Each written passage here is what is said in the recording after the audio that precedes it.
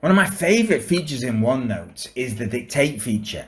This basically works like your own personal dictaphone or electronic secretary and it will convert your spoken words into written text.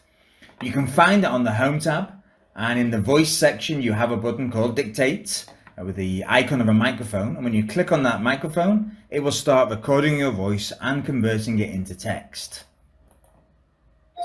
So you hear an audible beep that tells you that recording has started and the icons show you that my voice is now being recorded and converted into text as you can see on the page there. Basically it saves me time as I'm not having to type anything out. So I'm going to create a list of actionable items that I'm going to later turn into Outlook tasks. New line. Remind John that the shipping invoices need to go out tonight. New line. Prepare the agenda notes and send them to Haley, comma, John, comma, Ahmed, comma, and Fatima. New line. Read the notes from the PowerPoint presentation.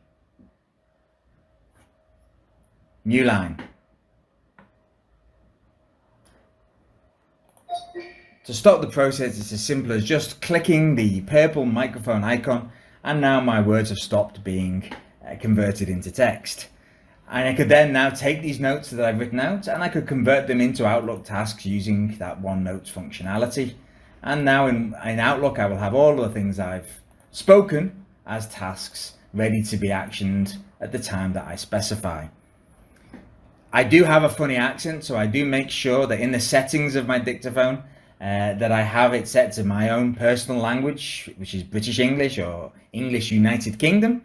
Uh, but it's a reasonably accurate transcribing of your voice into the written word.